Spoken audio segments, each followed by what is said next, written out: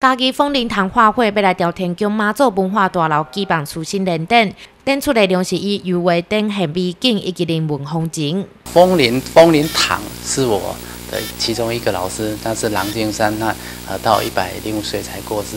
凤林堂是以他的堂号，那我之后是以呃来想说纪念他那个，然后我就是把它整个传承再延续下去。这一次的作品，呃，总共有包含我有十四位。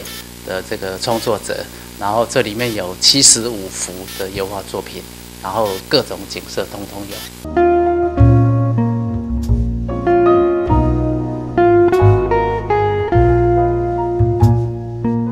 台湾宗教盛况到海边风景，凤林潭展出内容多元，其中这把蓝道溪水油画是张一元老师创新的彩绘手法，让你亲像徛在溪边看溪水流过眼睛。一些小碎石掉掉下来到这个溪底，这个部分是因为它我是用那个日本的一些那个小细沙，还有他们一些我们专用的一个那个胶，好把它固定在上面，呃，整幅画的那个气氛好会。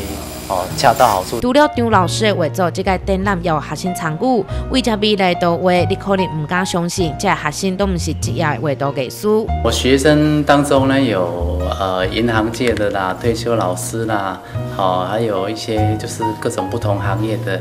秦二社这个，他本身是一个，他目前现在也是小学老师。那他有考上那个呃研究所美术系的。那当时是因为他。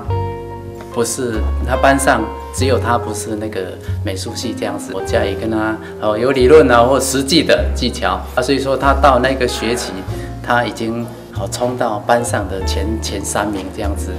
嘉义凤林堂油画展览登记直到四月十五号，北港南地等一届看到这么多油画创作，民众不妨趁着假日来调天桥妈祖文化大楼欣赏。记者李家山采访报道。